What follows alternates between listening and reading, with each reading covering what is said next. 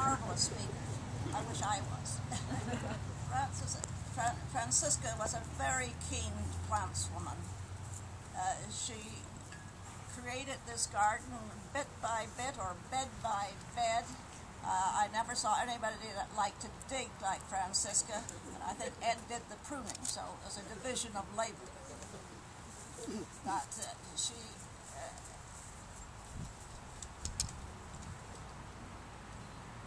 she allied herself with like-minded gardeners and of course joined all the various societies. The Alpine Garden Society in those days was the, the group that uh, had very keen plants people and so she was both of them were very keen on the Alpine Garden Club and the American Rhododendron Society and the Hardy Plant Society and the Surrey South Surrey Garden Club and uh, she was so generous in bringing in items for sale or, or gifts or uh, raffles uh, or just a show and tell.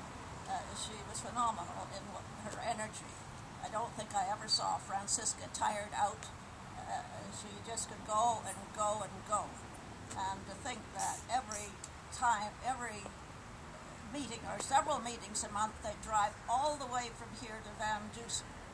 And in the early days, the Cloverdale route sometimes flooded in the winter. So it wasn't like today with various choices. It was hard work getting to Van Dusen. And for a while, she was a friend of the garden at UBC. And I had a, a nice uh, call from David Tarrant, uh, who was uh, the educational chairman at UBC for a long time, and, and mentioned uh, how helpful Francisca was at the Alpine Garden Conference a number of years ago.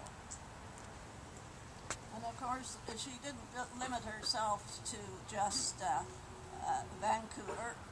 We both became members of the NOHS that was affiliated with the, uh, uh, the Washington Arboretum. And uh, she went down there for their great plant sales and, uh, and we went down there for lectures. And of course, this was before the time that Van Dusen and UBC had their big sales. So this goes back a long time. I, have known her about 50 years. So, mm.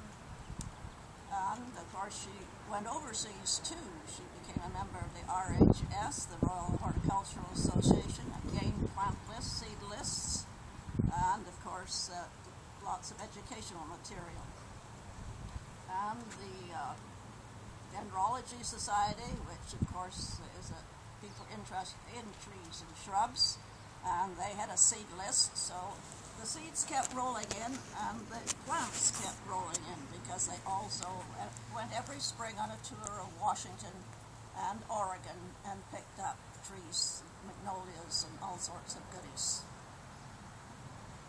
And then eventually, she uh, and I, uh, uh, we took off for trips overseas and eastern USA, and her favorite trip was Korea.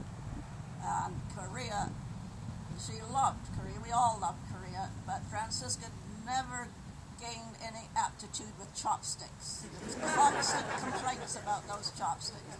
And then one lunch high up in a mountain, it was a box lunch. It was sushi should have seen the expression on her face. That's something she never acquired the taste for. And I can remember we were put up in one of those lovely, lovely hotels in Korea. And on the coffee table was a big jug, and we were hoping for something quite nice. but it was barley water. so, you know, there was uh, the ups and downs of all these trips. It too serious. Uh, the only thing that Owen left out, Francisca was a figure skater in her early days. Yeah. I mean, she was competitive in all these things. And, I'm, and she also judged at many garden shows over the lower mainland. She was a trained judge. And so she was much in demand. And I should say that we worked hard to get everything in order for this garden to carry on, and I am just so delighted. Today the garden looks absolutely fabulous. And the Surrey